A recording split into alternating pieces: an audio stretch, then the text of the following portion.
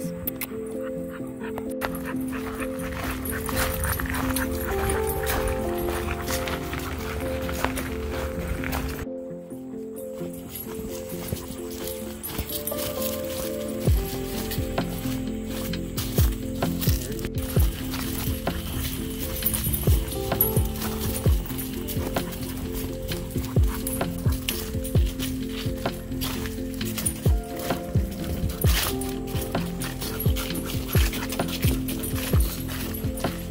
Or they're all brown.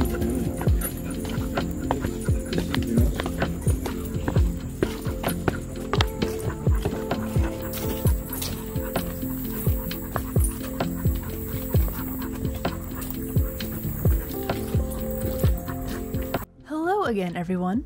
Today we're going to be venturing off into what I think is a first for this channel, but definitely not a first for me as an artist.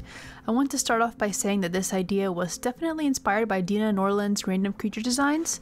Creature design is something I've been interested in and doing for many years now, but I feel like it's been a couple months at least since I've done it, so I just kind of wanted to try and get back into it and stop being so rusty. So this is basically an exercise of taking three random existing animals and mashing them up into a new and hopefully cohesive animal. This is an experimental kind of thing for the channel. Um, I really enjoy doing this, so let me know if y'all like this kind of content and I'll definitely do more of these.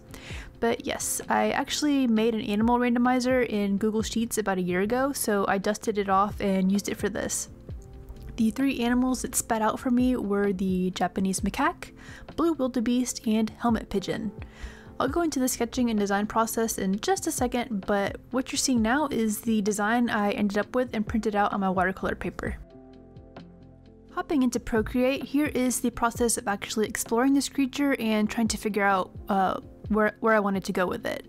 I knew right off the bat that I wanted the main influences on this creature to be the Japanese macaque and blue wildebeest with only a hint of the helmet pigeon. Of the two main influences, I wanted the Japanese macaque to be the biggest contributor to this creature's body plan. The main place where I wanted to have hints of all three animals was in the face, so my first struggle was figuring out how to mesh all of them in a way that wasn't too obviously any one animal. Ultimately, I decided to have the face lean primarily toward the wildebeest since I didn't want this creature to just look like a gigantic macaque. Um, next, I started playing around with how to set up the body. I did think about trying to add more of the pigeon into the body at this point, but since I'm a little rusty at creature design, I wanted to keep this one simple and quick, so I chose to just stick with the other two animals like I planned on in the beginning. Since I didn't want to shun the pigeon completely, I added small nods to its influence in the shape of the creature's mane as well as the little beak-like structure of its nose and upper lip. I also played around with adding big horns to this critter, but it ended up looking a little too top heavy and also too similar to the minotaurs from Guild Wars 2, at least in my opinion. Admittedly, I was getting frustrated with trying to figure out the face during these exploratory sketches, so I decided I needed to keep the final post simple and just dove right into fine tuning my anatomy choices as I did the line art. I feel like sometimes I work best when I just jump in like this as opposed to spending ages in the planning stage because if I spend too long planning, I tend to get impatient and the impatience makes me make mistakes that then discourage me from continuing. So sometimes I just gotta go for it, which is what happened here. Even though the design and pose are simple, I'm pretty happy with how they turned out. I wanted the pose to show as much of the creature as possible and also give a sense of how it moves and bears its weight, rather than going with the previous attempt at a more flashy pose.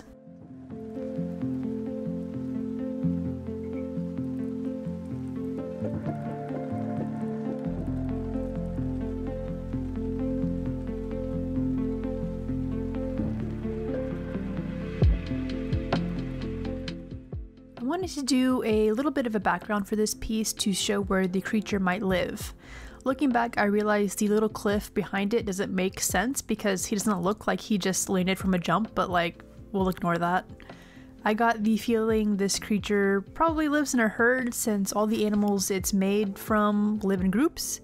I wish I'd had time to draw more of these just to give that group living atmosphere, even if it was just a baby, but that would have taken away the simple aspect I was going for. But yeah, definitely a herd animal.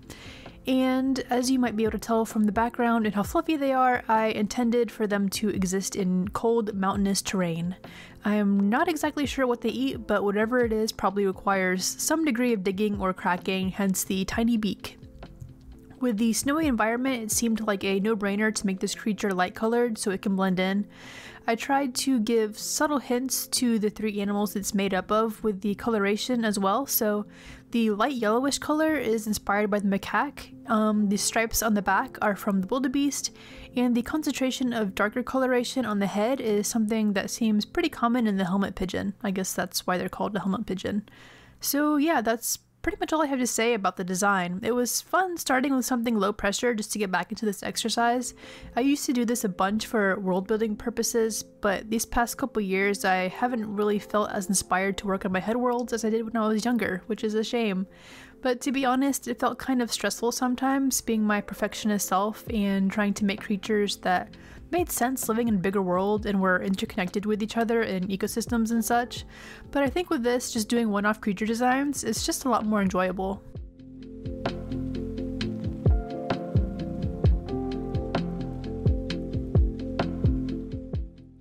Getting a little off topic here, but I wanted to blabber a little bit about my plans for future content for the channel. I've been on YouTube for over a year now, although my activity has been a little spotty in the past few months. I used to try and post every week in the beginning, but my job and other real life stuff started getting in the way, so now I've had to dial it back to just uploading whenever I have time and inspiration. I think something I've been struggling with a lot lately is just trying to figure out what my niche is.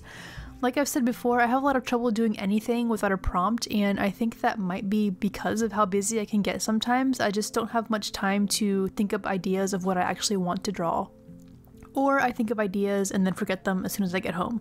So now that I've realized this, I want to start taking steps to tackle it, and I think something that might help is deciding on a handful of series to do for the channel. I feel it would definitely help me be more consistent and give me an overarching theme just as a jumping off point for videos. So far, I have a couple of ideas. I don't know if y'all have noticed, but I really don't like drawing people that much, so all of my series ideas lean toward animals and creatures, so yeah, just don't expect much from me as much as uh, as far as human art. But yes, onto my main idea so far. I did that lore limelight video a little while back um, with the obscure cryptids, but that video got me thinking. I've really been into iceberg videos lately, as are many people, and I found a cryptid iceberg that looks really extensive.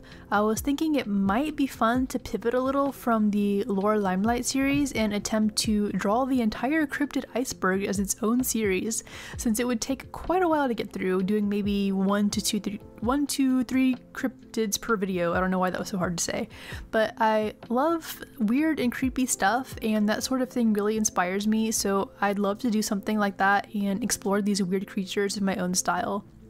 So yeah, series idea number one is drawing the entire cryptid iceberg. Like with most things, I'd probably switch up mediums for almost every video just to keep things fresh and challenging. Another frontrunner in my series ideas is just to do more of this, designing random creatures. It's really fun and fairly quick for me to do, so it'd be more of a breather type of video that I can just throw together on weeks that are super busy. So those are my top two. Um, I'm pretty sure I had more, but I forgot them as soon as I sat down to write this. So I might consider doing a more laid back version of Inktober as well and making a short series out of that, but we'll see. Inktober's pretty work heavy, so I don't know how that would work out. Um, if you have any ideas, feel free to let me know. And also let me know what you think of my current series ideas. Like I said, I definitely want to stick to themes that are centered around animals and made up creatures. So, pretty much anything I can include that in, I'm probably game for. I have a lot of motivation to make videos right now because it's something I love doing, but I need to just work on building up my topic ideas. So it's not so much of a struggle to pull a topic out of thin air when I have the time and will to actually fill something if to film something, if that makes any sense. Back to the piece at hand, I forgot to apologize for the lighting situation in the beginning of this video, but yeah, sorry if you noticed the lighting changing and just being generally bad. We had a bunch of rain clouds roll in as I was working on this, and they killed my natural lighting. But anyways, I decided to pull out my colored pencils to pump up the shadows for this one. I did have some darker watercolors I could have used, but I was afraid of ruining that icy blue shading with something that was way darker, so I opted to go for colored pencils since I could have a little more control over those shadows. I also relined this piece a bit since the line art was really light to begin with, and then got even more light because of the watercolor. And as finishing touches, I added some whiskers and also a cold weather breath puff, which didn't show up very well, but the intent was there, and that's all that matters. So that's it for today. I hope you all enjoyed this quick little experimental ish video, and again, let me know if you'd like to see more of this kind of thing. I think I can manage to get more crazy and inventive with creatures as I dust off my skills. So with that, thank you all for watching, give the video a like if you enjoyed, and I'll see you all in the next one.